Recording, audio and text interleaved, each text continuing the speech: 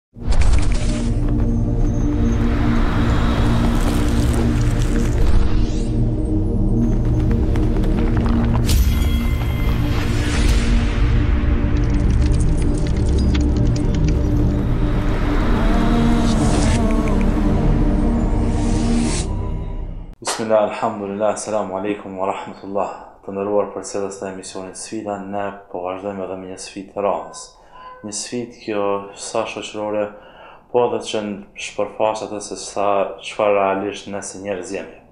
Bëhet fjalë për sjelljen tonë dhe veprimet tona karshi ndoshta të themi shtresës më më të rëndë shoqërore që që përbën shumicën e shoqërive botënore, është fjala pra për të ngratit apo për të varfrit. Sa na i nënçmojmë këta njerëz, si sillemi na me këta njerëz, çfarë shoqënie jemi nëse ne, domethënë, nuk sillemi me nderim dhe mëshirë ndaj tyre, po sillemi me nënçmim për ta. Në kohët e fundit në arenën shqiptare mi bë Kemi parë një farë episodi të dhimbshëm të asaj se si nënçmohet dikush që është i ngratë dhe i varfër nga një shtresë më e lartë e shoqënisë që kanë luksin të jenë më të pasur dhe kanë ndoshta janë më të fuqishëm medialisht për t'i paraqitur ato atë minusin e vet që e kanë në shpirtin e tyre karshi kësaj karshi kësaj shtrese të shoqënisë. Për të diskutuar për këtë temë kemi të ftumë Hoxhën Bekir Halimi, i cili t'i urojmë mirëseardhje dhe Hoxhë mirë se vjen në emision. Mirë se ju gjetëm, e fillojmë edhe këtë emision duke falëndruar Allahun e Madhërishëm i cili meriton çdo lavd dhe falënderim dhe i cili nga urtësia e tij i ka nda njerëzit në shtresa dhe në nivele, të varfër dhe të pasur, lavdja dhe bekimi qofshin mbi Muhammedin, lavdja dhe bekimi i Allahut qoftë mbi të dhe familjen e tij dhe shokët e tij dhe mbi gjithë besimtarët që ndjekin rrugën e tij deri në ditën e gjykimit. Është më se e vërtetë se domethonë që nga histori, fillimi i historisë, shoqëria ndahet në të varfër dhe të pasur. Dhe gjithashtu është e vërtetë se të pasurit janë pak dhe të varfërit janë shumë. Pra kështu edhe pyetja, do thotë, si do trajtohen dy shoqëritë realisht. Edhe të pasurit edhe të varfrit. Normalisht Islami, koncepti Islam është që varfërinë e llogarit si një problem, i cili duhet të zgjidhet. Dhe shoqëria duhet të jeton shumica e shoqërisë në nivel mesatar të mirëqenies dhe komoditetit. Ku normalisht do të ketë një numër gjithashtu i vogël të pasurish tej mase, dhe një numër i vogël jashtëzakonisht i vogël domethënë i varfër tej mase kurse masa e gjerë të jetë në në në standarde domethënë bazike të një jetese komode dhe të mirëqenies. Mirëpo, fatkeqësisht njeriu për nga natyra është zullumqar. Dhe për shkak të zullumit të njeriut ndodh ky dallim i madh mes shtresave.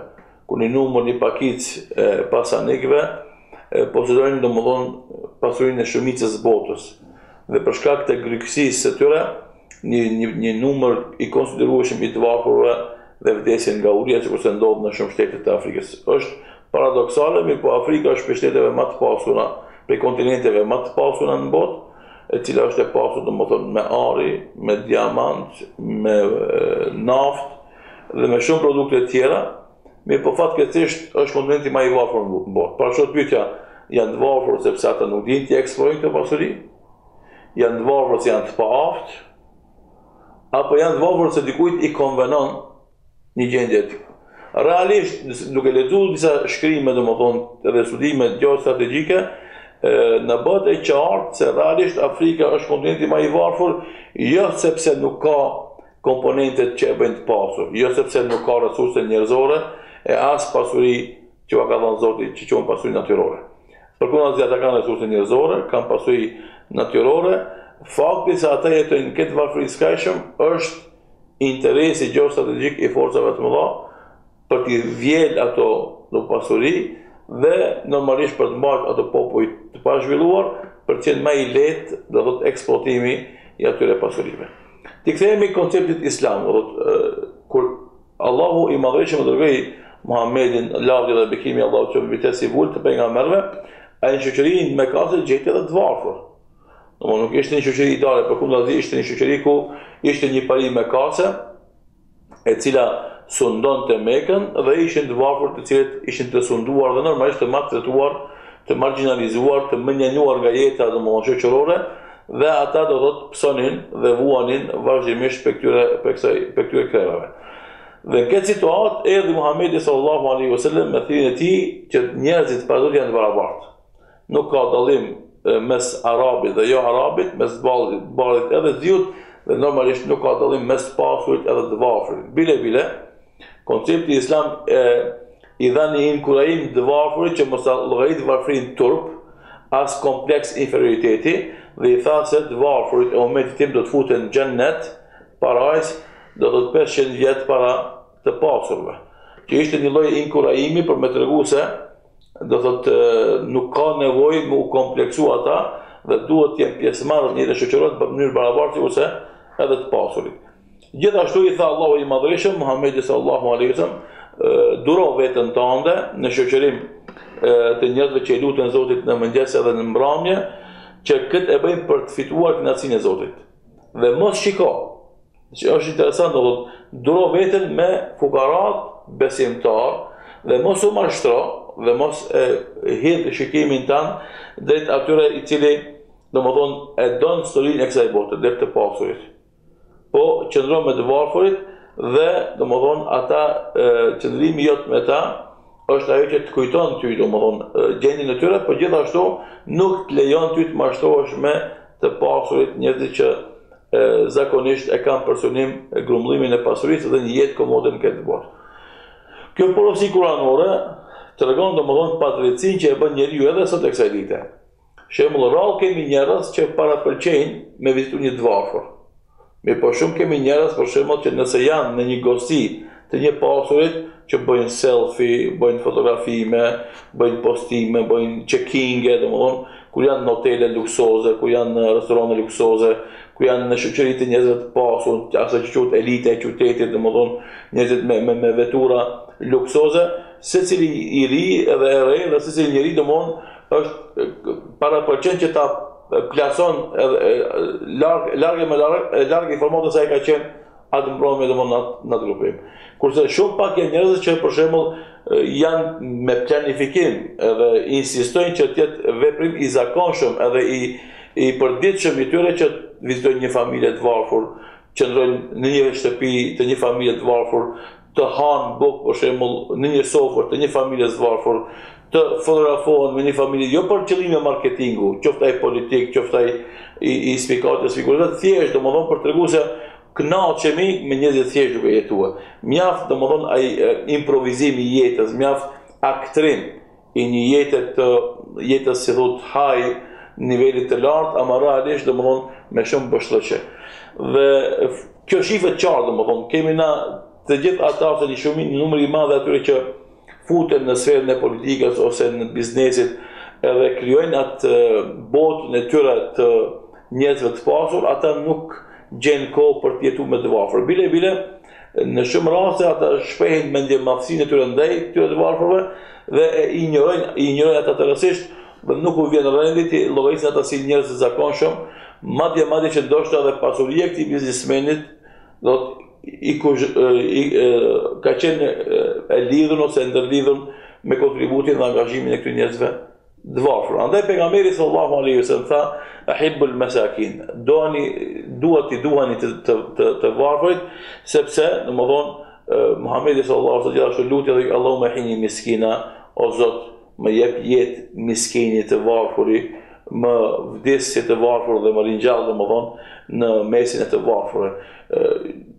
Qëllimi është që domthonë Muhamedi sallallahu alaihi wasallam kishte mundësi me zgjedh të bëhet mbret pejgamber, të jetë i pasur dhe të jetë profet i Zotit, apo të jetë njëri i thjeshtë edhe profet, ai zgjedhi versionin e dytë, të jetë njëri i thjeshtë edhe profet.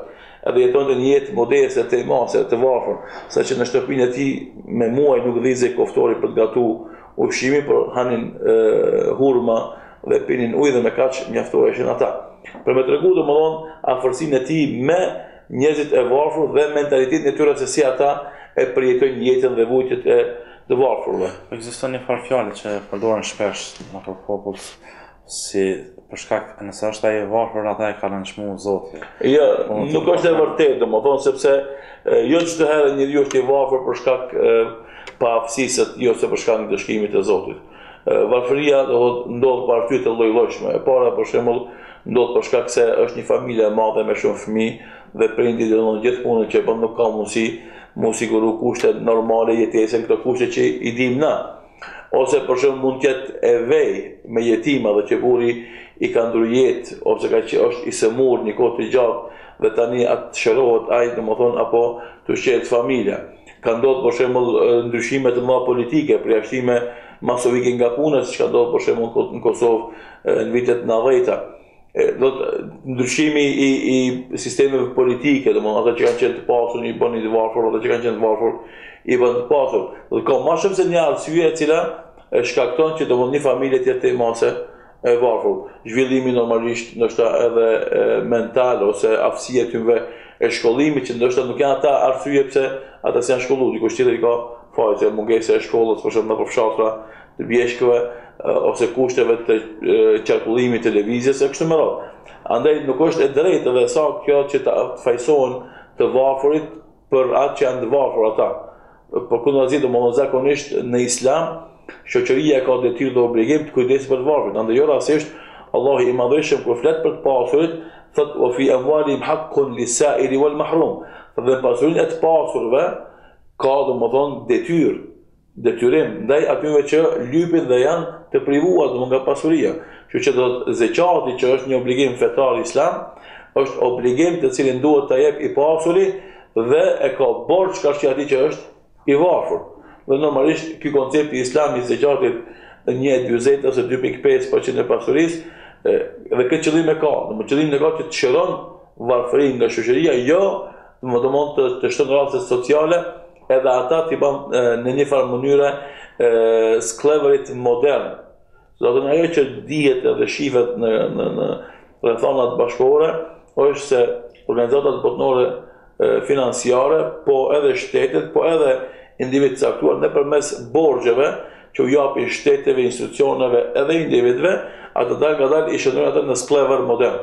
Kështu që domethënë ti që ke marrë borxh dhe marrë prej dikujt, ti do të jesh i nënshtruar tërësisht atij që ka marrë borxhin, sepse s'ke mundësi për me la borxhin edhe me automatizëm dalëngadalë borxhi, ti bon pronë e tij, ashtu bon kompani të, të mëdha pronë të këtyre organizatave botërore të financimit, po edhe shtete bon pronë në kuptimin vegla të cilat i nënshtrohen diktateve që vijnë nga këto organizata. E njëjta logjikë ndodh edhe sot faktisht prej disa të pasurve ndaj njerëzve të varfër. Edhe kjo është ajo që Edhe pse verbalisht, domethënë, teoretikisht kundërshtohet sistemi skllavopronar, ama realisht ajo vazhdon të zhvillohet edhe të jetë e pranishme. Pra qe koncepti islam i zeqatit është që e para mos të merr një sasi të madhe të pasurisë e së të pasurit që me mund dhe djersë e ka fitu, por po edhe në anën tjetër, jo të shndërrohet ajo në ndihmë humanitare dhe sociale, por të hapen domethënë vende pune dhe Të aftësohen këta, sipas aftësive që kanë, domethënë që vetë të fitojnë rizkun, dhe këta për një kohë të shkurt të bëhen zeqatdhënës, dhe këta pastaj të vazhdojnë t'u ndihmojnë tjerëve me zeqatin e tyre. Sido qoftë domethënë, ekziston shtresa e të varfurve, të varfrit nuk janë të varfur pse ata dëshirojnë me qenë të varfur, po për rrethana të caktuara, që në shumicën e rasteve janë objektive, në pakicën e rasteve janë subjektive, ata janë të tillë dhe na si shoqëri, domethënë është janë sfidë për ne.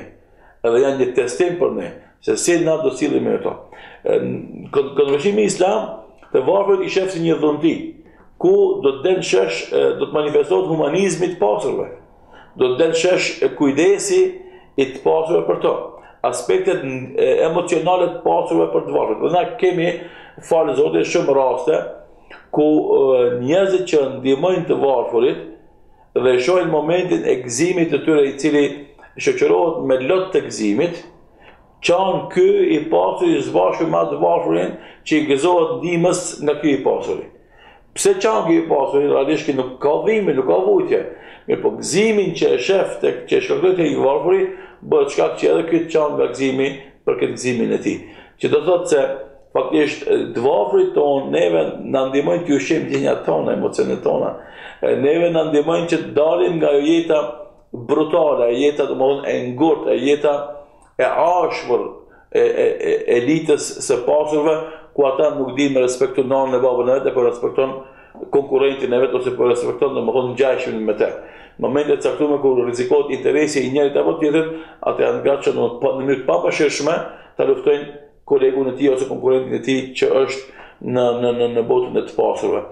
Andaj këto raste të të varfërve faktisht i ushqejnë këto emocione, këto ndjenja dhe këta të pasur që merren me kësi lloj aksionesh bijnë për toke.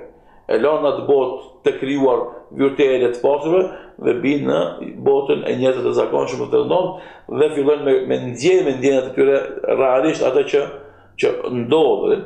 Andaj Thotë Imam Karimi rahimahullah se gëzimi i atij që jep sadaka lëmoshë është ma i madh se gëzimi i atij që pranon lëmoshën kur e shef ky që jep lëmoshën se çfarë gëzimi shkakton te ai.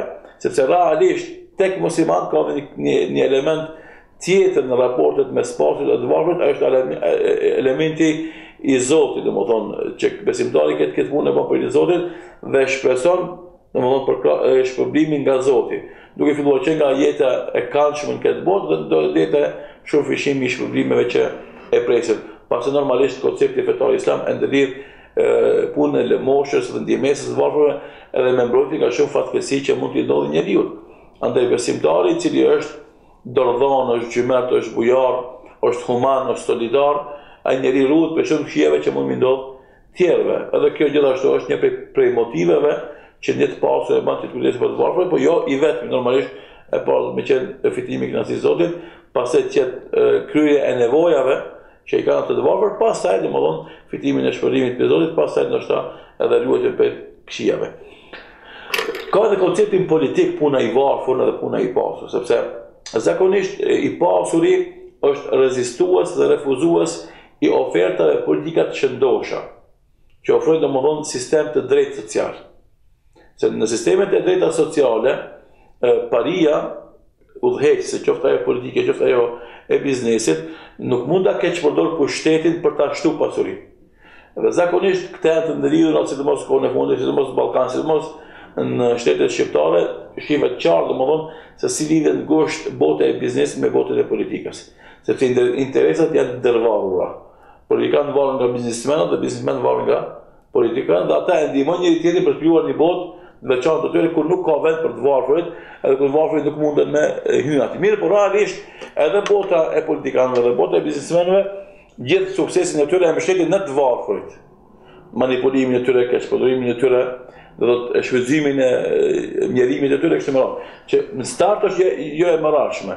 Mirëpo, në afat gjatë është e dëmshme për ata dhe normalisht e dëmshme për fukarat, nëse këta fukarat nuk vetëdijësohen. A na tregon Kurani, domethonë, se thirrjen e profetve zakonisht paria e ka refuzu, sepse ka prish sistemin që ata e kanë ndërtu, kurse të varfrit e kanë pranu, thotë Allah i madhërishëm, kur thanë paria jo besimtare, Do thot profetit të Zotit se ty o profet të shohim domethënë njeri sikurse ne, andaj s'kemi nevojë me të ndjekë ty, dhe shohim se ty ndjekin ata që janë shoqëri e ulët, domethonë të poshtër, të varfër, që nuk kanë ndonjë peshë në mesin tonë. Andaj nuk shohim që ki ndonjë vlerë ndaj nesh, andaj na të shohim se ti je gënjeshtar edhe të përgënjeshtrojmë. Ty.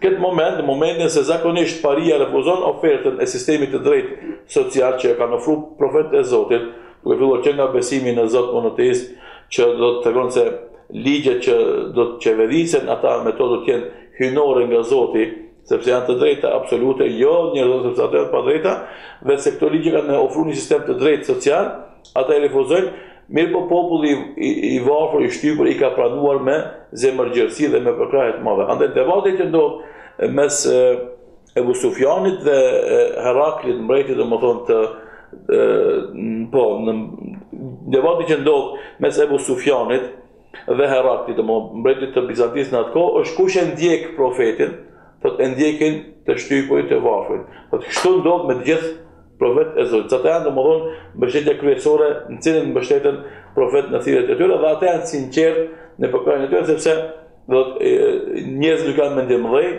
nuk kanë aspirata personale dhe janë që e shërbejnë shoqërinë edhe kur kanë edhe kur s'kanë domethonë. Andaj kjo tregon se Edhe oferta do thotë që e kanë sjellë profetët dhe që rezistohet nga elita do thotë politike ka të bën me këtë situatë. Dhe andaj ndryshimi i shoqërisë fillon nga kjo shtresë. Kur kjo shtresë do të vetëdijësohet, kur te kjo shtresë do të rritet krenaria, kur kjo shtresë do të mundohet domethonë të jetë e pavarur prej ndihmave të njerëzve të pasur, të cilët pastaj shndërrojnë kushtëzime, atëherë shoqëria jonë ka me u ndryshuar. Dhe jo rastësisht, shtetet e zhvillume mundohen të krijojnë barazi sociale, ose drejtësi sociale.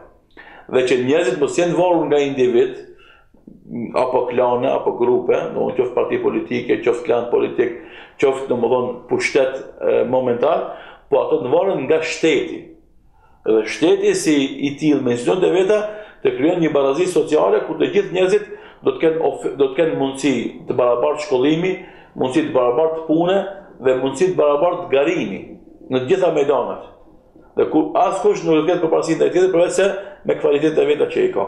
Ksi situata domethënë edhe ai që është milioner, edhe ai që ka të ardhurat për shembull atë mujore 2-300 euro ose 500 euro, është i barabartë në garimin e tij me tjetrin dhe normalisht kjo do të jep mundësi ma të mirit, ma të aftit, ma kualitativit të udhëheqë me vendet tona dhe popujt tonë, jo atij i cili e ka pushtetin që e ka e ka fituar normalisht me aftësi mirëpo aftësi e dredhisë dhe mashtrimit jo aftësisë domethënë për të ofrue alternativa dhe zëvendësime për këto situata.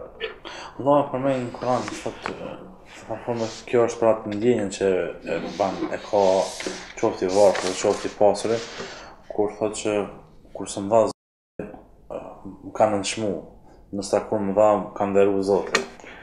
Normalisht njerëzit fatkeqësisht edhe të varfurit shpesh herë i tejkalojnë kufijtë e veta dhe fillojnë mendu keq për Zotin. Ata mendojnë se Zoti i ka lënë të varfër sepse Zoti ka nevojë për pasurinë e tyre, s'është e vërtetë. Edhe sikur ta thotë ajo fjala atij të varfri që i thotë pasurit ti me paret e mia domethënë bën shpinë pallatin tënd. Realisht Allahu i Madhërishëm është pronari i depove të qiellit të qiellit dhe tokës. Dhe ai ndan furnizimin tek njerëzit sipas urtësisë së vet.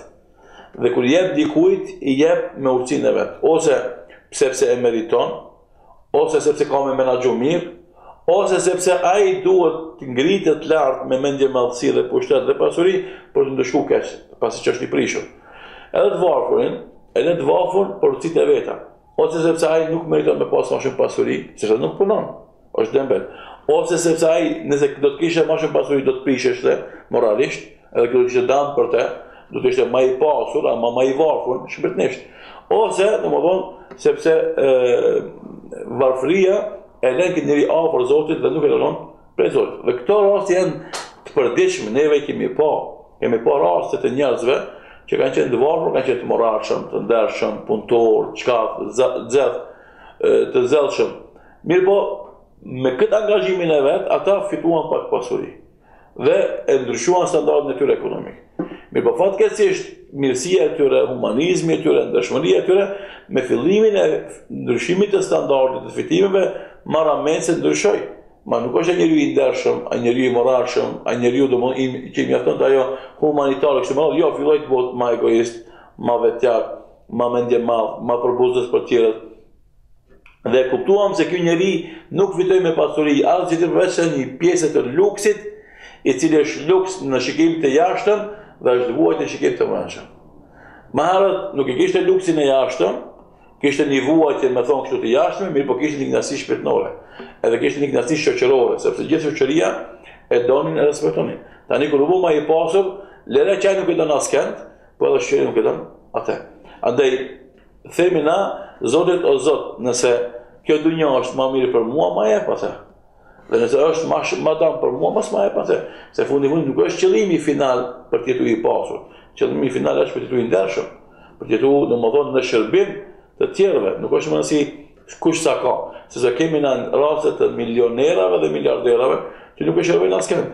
Dhe kemi raste të një fukaraje që shërben gjithë një botë. Andaj nuk është puna me me me me me, me sasinë e pasurisë që kemi për të kontribu, por me vullnetin dhe dëshirën për të kontribu, sepse kemi raste konkrete që Zoti i ka dhonë pasuri, mirëpo ai nuk fiton nga pasuria e tij për të ndihmu të tjerët dhe për të qenë i gëzuar me gëzimin e tjerëve. Jo, përkundrazi ai pasurinë e tij e akumulon, e grumbullon duke i dëmtu të tjerët, duke i nënçmu të tjerët, Duke i shkelë, kemi shumë na tregtarë që do më mendojnë se pasuria e tyre do të shtohet nëse ai ia vonon rrogën pagën punëtorit, ose nëse ia zvogëlon pagën punëtorit, ose nëse i bën lloj lloj malverzimesh që ajo që e merr ai nga puna të jetë minimale, jo ajo që e meriton ai, mos ketë kurrnifarë benefiti. Andaj, kur ndëgjojmë ne raste se një pronar i një kompanije, jep rrogën e 13 ne çuditemi. E me ndodh që i ka dhonë edhe ndihma të tjera shtesë, kjo është mrekulli, sepse zakonisht pronarët tu tentu me grumbullu pasuninë e vet edhe me shtu atë, bëjnë kalkulime me rrogat e punëtorëve, jo me aftësitë e tyre të biznesit. Normalisht, mund të ketë edhe të varfur të cilët e keqpërdorin gjendjen e tyre. dhe që nga rasti, që nga situata e rasteve sociale ata shndërrohen tash në raste për terapi psiki, të psikiatrit sepse ata varfërinë e tyre e shfrytëzojnë si një kamuflim për të vazhdu me lypë prej njerëzve për të vazhduar të paraqiten si viktima para njerëzve dhe njerëzit t'ua kenë gajle dhe brengë dhe t'i ndihmojnë atyre me asistenca të llojllojshme. Dhe kjo mo shndërrohet në një stadium tjetër, nivel tjetër, të një gjendjeje psikike të randë ku ai dembelohet dhe bohet mashtrues. Normalisht edhe kjo është e qortume dhe nuk lejohet asesi, sepse pejgamberi sallallahu alaihi wasallam çka thotë, ai i cili lyp pa e meritu Po nuk është në gjendje për të lyp, mirëpo lyp për të përmbajt një luks t'jetës vet, lyp për të vazhdu dembelinë e vet, lyp për të mbulu manifest për të mbulu paaftësinë e vet. Thotë kush kërkon dhe nuk ka nevojë me kërkue, me lyp, do do të ringjallë ditën e Kiametit, domethënë një fytyrë pa mish tjetra me mish sepse ka keqpërdorë domethënë dhe ka mashtru njerëzit. Ose thot pejgamberi sallallahu alaihi wasallam, dora që jep është e larta dhe dora që merr është e ulëta. Domethënë nuk është nuk lejohet që muslimani ta nënçmon vetveten dhe ta humbë krenarinë duke e zgjatë dorën e lypjes. Andaj muslimanët e devotshëm kurrë nuk kanë lypë edhe pse kanë pasë shumë nevojë për to. Andaj Zoti i Madhërishëm i përshkruan ata, i llogarit injoranti si të pasur, sepse ata ishin të ndershëm dhe nuk e zgjatnin dorën edhe kur kishin nevojë. E besimtari domethënë që është i vëmendshëm i kujdesshëm i hulumton këto raste, të njerëzve të ndershëm të varfër, të cilët nuk e keqpërdorin varfërinë e tyre për të akumulu pasuri marramendëse. Dhe në këtë formë, domethënë, feja islame e bën barazinë mes shtresave, e bën një harmonizim mes shtresave, mes tyre edhe bën një lloj dashurie dhe respekti, ku i pasuri e don të varfrin dhe respekton atë, dhe nuk bëhet shkak ndihma që jep për ta nënçmuar atë dhe për t'ia përmend atij dhe gjithashtu i varfri e do të pasurin, sepse ai i pasur është derë e hapur për nevojtar, për hallexhit dhe është në ndihmën e tyre. Pa marrë parasysh a i ka ndihmu këtij konkretisht. Mjafton se ai u ka ndihmu gjithë shoqërisë ku ka jetuar dhe ku ka vepruar njeriu. Një pikënisjeve të këtij emisionit ka qenë edhe një emision që është mbajt para ca para ca javësh ose para një jave kështu në trojet shqiptare ku një të varfrit tentohet t'i merret fëmija edhe të largohet nga babai biologjik. Ka qenë e komentuar prej muslimanëve kryesisht kjo, edhe njerëzve që kanë ndërgjegje në trupin e vet që kjo që po ndodh është tamam një nënçmim i fukarasë edhe të varfrit prej shtresës më të lartë shoqnisë. Besoj e keni ndjek komentet dhe muhabetet që kanë bërë. Po e kam pa, është e vërtetë, domethënë ka qenë e dhimbshme situata. Kjo ka qenë ajo që ka dalë n'shesh. Parashtrohet pyetja domethënë sa kësi lloj situatash kanë mundur qenë kalume pa dalë në shesh. Domethënë ajo që ka irritu gjithë opinionin, masën e gjerë, musliman dhe jo musliman, nuk pajtohna me ty se revolta ka qenë te gjithë shoqëria, sepse ka qenë një emision sipas asaj që shifet, i kurdisur, domethënë për të nxjerrë fitues, palën që donin domethënë të merrnin në kujdes fmijt e një përindi i cili për momentet dhe kushtet ekonomike që kishte nuk ishte n'mundësi t'kujdeset për to dhe ishte detyru t'i çon në shtëpitë e jetimave, n'jetimore. Normalisht është e dhemshme, sidomos kur shifet se qëllimi i atij përvetësimi dhe marrjes në kujdes mund të ketë edhe qëllimin e konvertimit. Dhe normalisht këtë rast krijon një situatë tej mase të palakmueshme, një indinjatë tej mase të thellë, dhe ku ajo që e shton, domethënë, ndoshta edhe hidhërimin, ma shumë është që askush nuk e pa të arsyeshme të kërkojë falje, domethënë se Është keq kuptue, domethënë nuk ka qenë ajo qëllimi e kështu me radhë, po thjesht vazhdon domethënë të të mbahet ai emision në atë formë, sikur të ishte një gjë domethënë e rëndomtë e zakonshme. Koncepti islam për lëmoshën është koncept i cili nuk lejon që të përdoret lëmosha e para për t'ia përmendur atë ose për ta dëmtuar atë me ndonjë send. Këtë rast nuk ka dëmtim më të madh sesa ndryshimi i besimit ose i botkuptimit ose domethënë i sojit. A dhe thot Allahu i madhërishëm, La tutbi'u sadaqatikum bil manni wal adha. Mos i pasoni lëmoshat tuaja me të përmendur ose me dëme. Por se në anë tjetër, domthon qortimi i lypsit është ndaluar e le më mos flasim domthon keqpërdorimi i tij, thotë Allahu në Kur'an, "Wa amma sa'ila fala tanhar" dhe lypsin mos e qorto. Që Kërkon Islami nga ati, nga ai njeri që jep lëmoshë, të jetë shumë i vëmendshëm, sikur domethënë për mbijetesën e tij biologjike, ashtu edhe për besimin e tij, ashtu edhe për emocionet dhe ndjenjat e tija. Dhe padyshim është shumë e dhembshme, dhe tej mase e papranuar që dikush ta keqpërdor varfrinë e një familje për t'ia marrë fëmijët. Dhe baba i tyre bazik, tash quhet baba biologjik, Nuk mund të ketë babë biologjik, realisht ai është babë edhe në aspektin, domethënë, biologjik, por edhe në aspektin e ndjenjave dhe emocioneve. Dhe nëse dikush nëpërmes ndihmës ekonomike ndërhyn mes babës dhe fëmijëve dhe i orienton ndjenjat dhe emocionet e këtyre fëmijëve duke i josh ata, duke u ofruar një jetë më komode, një ardhmëri më të mirë ekonomikisht dhe ata të ndijnë një lloj urrejtje, një lloj pakënaqësie me prindin për shkak të gjendjes ekonomike, padyshim kjo është shkatërrim i shoqërisë. Sepse të gjithë na në momente të caktuara mund të kemi gjendje të palakmueshme ekonomike. Mirëpo asesi raportet familjare, këtë rast prind edhe fëmijë, nuk duhen të ndërtohen mbi mirëqenien ekonomike, mbi raportet me, domthonë, situatën ekonomike, po ato duhet ndërtohen thjesht e para në bazë të respektit ndërsjellë, në bazë dashurisë që duhet të kenë njëri me, me tjetrin, edhe në bazë lidhshmërisë së gjakut që e kanë ata. Deshëm apo nuk deshëm, domthonë, ajo që thuhet te na shqiptarët gjaku nuk është ujë, edhe ai fëmijë është i atij babë, edhe ai fëmijë realisht nuk mund të jetë mirënjohës pasaj as ndaj këtij kujdestari të ri, i cili e ka josh në moshën e re fëminore me kushte të mira ekonomike, sepse aspiratat ose dëshirat e këtij fëmiju që ti e joshe me ofrim të komoditetit ekonomik, nesër rriten. Edhe domethënë, apetitet e tija shtohen.